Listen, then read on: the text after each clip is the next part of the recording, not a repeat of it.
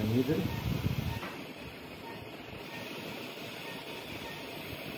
and this is the uptake of the yes.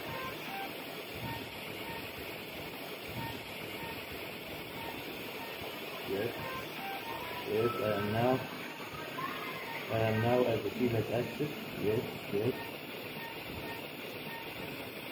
Okay that it is able the see that axis exactly.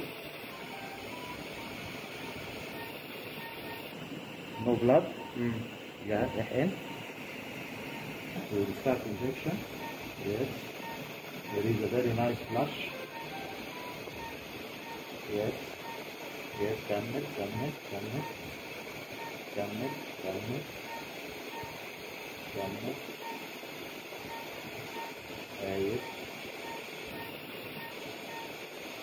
No blood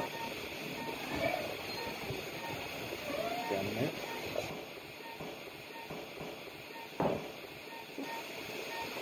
طيب كمل then we will draw the needle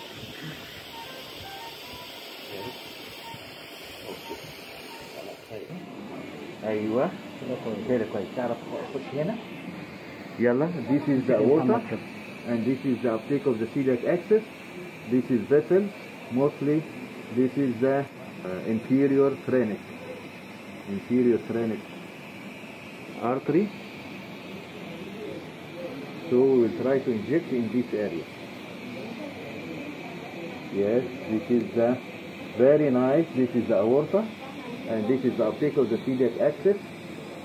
And here this is an area without blood vessels so we'll inject in this area. Aspirate first yes.